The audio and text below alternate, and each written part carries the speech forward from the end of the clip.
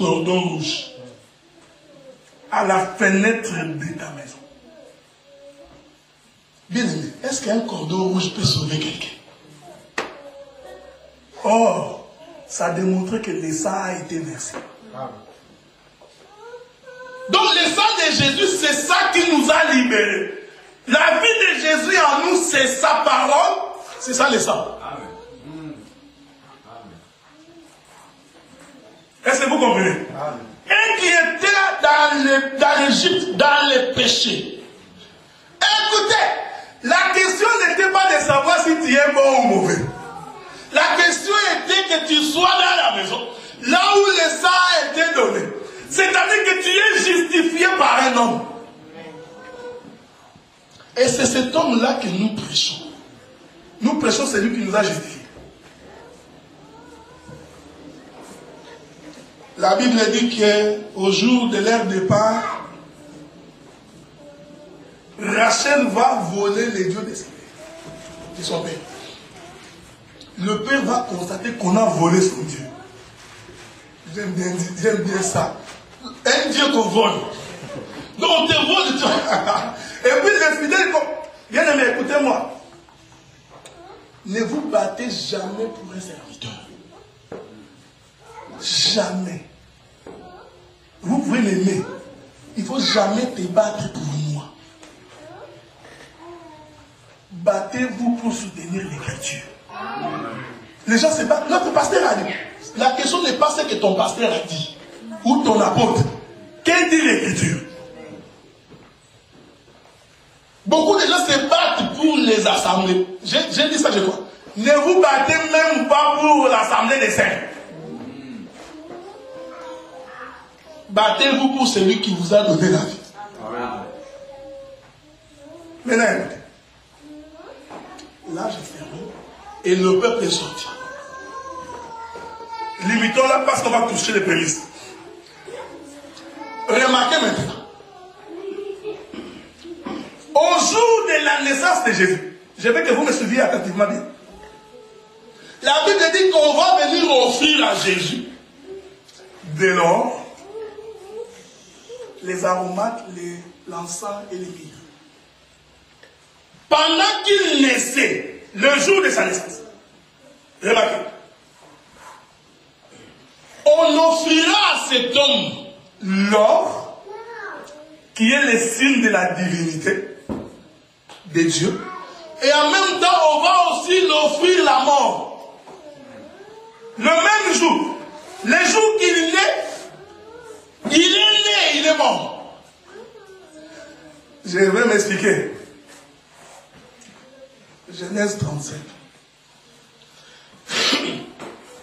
La Bible dit que quand les frères de Joseph vendirent Joseph, ils l'ont vendu où? Dans une caravane qui contenait les aromates, les myrrhes, l'encens, tout ce qui témoignait de la mort.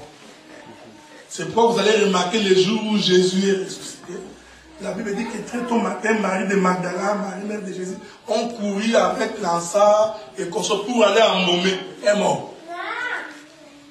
Or, quand on embaume est mort, c'est pour qu'il ne puisse pas connaître la pourriture. Quand David disait, tu ne permettras pas que le corps de ton sein puisse connaître la pourriture. En réalité, il disait, on va l'embaumer. Est-ce que vous comprenez? Il a expliqué qu'il va être embaumé. Maintenant, remarquez. Le jour où Jésus naît, on l'embaume. Au jour de sa naissance. On offre d'abord l'or qui représente les signes de la divinité. Le jour où il est. Au même moment, on va aussi offrir les aromates, les myrrhes et l'encens. Je suis dans la maison des enfants de Dieu. Aaron devait vous rappeler ça. Aaron vous rappelle que myrrhe et c'est la mort. C'est le sacrifice qu'on amène devant l'éternel. Est-ce que vous comprenez ce que nous disons? Le même jour, c'était quand Nous avons expliqué ça. Probablement pour y revenir. Jésus est né le jour de la Pâque. Au mois de la Pâque. Le premier mois. Avons expliqué aussi ça dans Exode 39 et Exode 39, les derniers versets, et Exode 40. Pour dire que l'Écriture nous dit que le premier jour du premier mois, qui est le mois de Nissan, le quatrième mois selon le calendrier romain, l'Éternel quitte le ciel, il entre dans un corps. Il devient humain. C'était le mois de Nissan, le mois de la Pâque. C'est pourquoi Dieu leur dira, ce mois ici sera pour vous le premier mois de l'année. C'était le mois de la Pâque. Le mois de la Pâque, il quitte le trône, il entre dans un corps. Emmanuel, Dieu parmi son peuple. Nous verrons ça aussi au jour de sa naissance. L'écriture s'accomplit ça. Au jour de sa naissance, il naîtra au mois de la Pâque. Il mourra aussi au mois de la Pâque. Remarquez maintenant. Il est né dans les jours, il est mort dans les jours. J'ai des ça. Que Dieu nous fasse grâce. C'est vrai, noir sur blanc.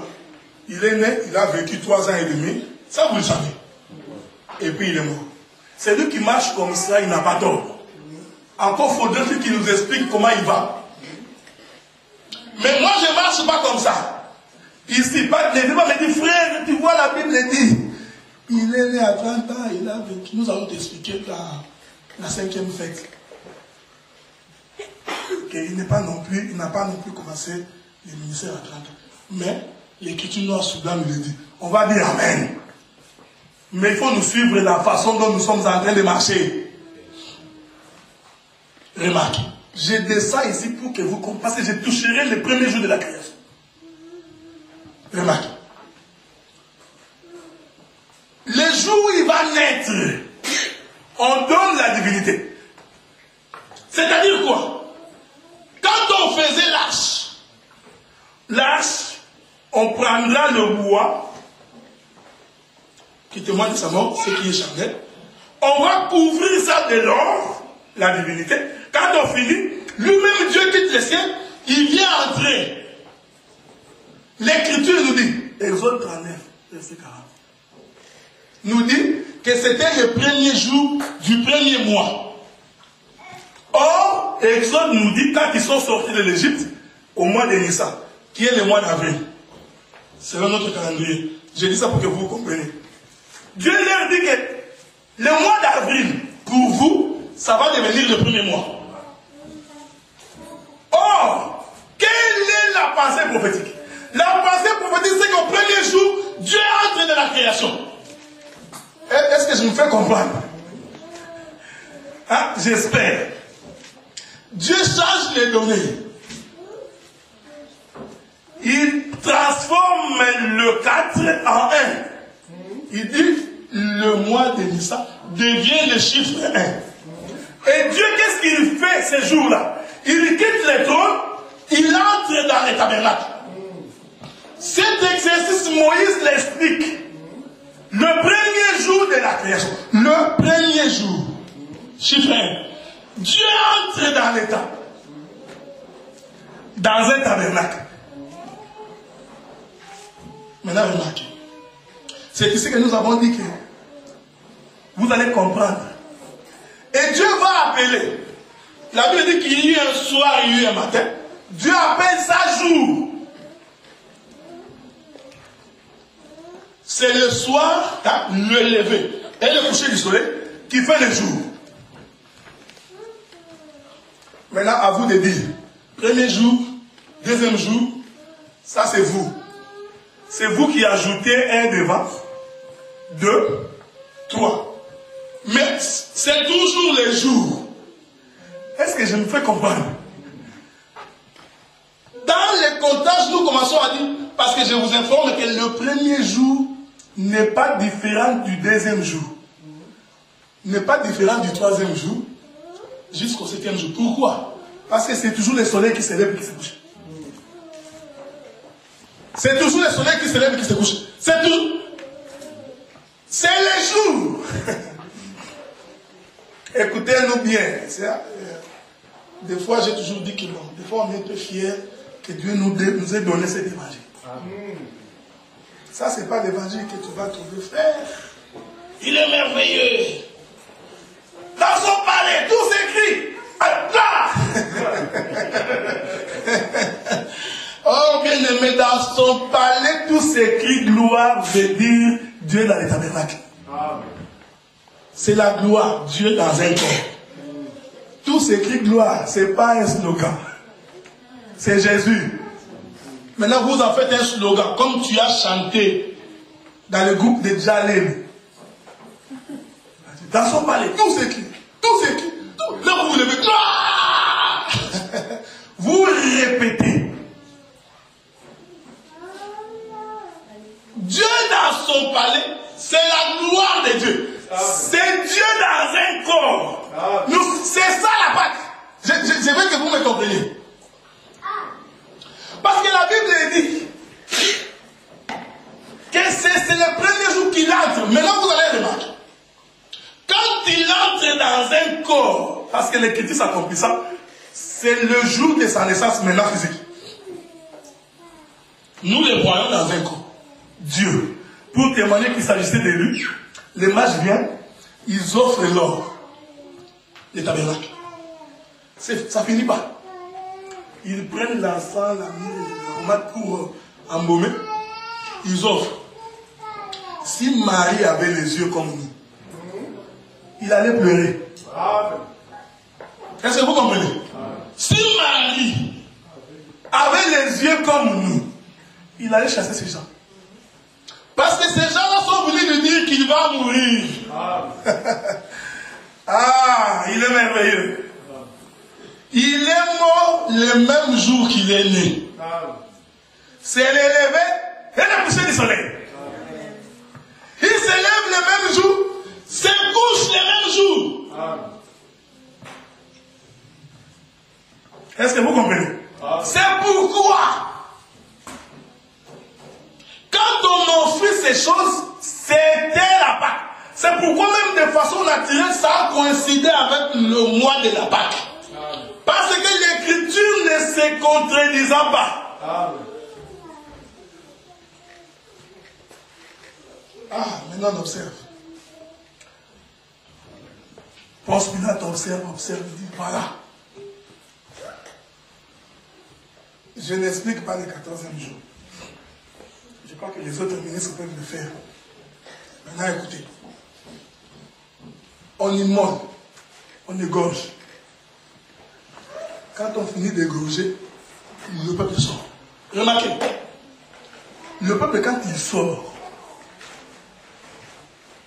en réalité, le peuple est sorti quand? Le peuple est sorti quand il a traversé la mer rouge. Dès qu'il traverse la mer rouge, il est. Ils n'ont pas chanté après avoir quitté l'Égypte. Non, eh, suivez-nous bien. Ils n'ont pas chanté à ce moment-là. Mais quand ils ont traversé la mer rouge, quand ils sont sortis de l'autre côté, ils ont chanté.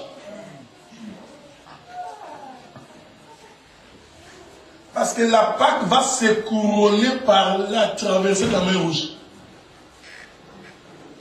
On va y revenir. On prend cet homme de Jésus après avoir vérifié.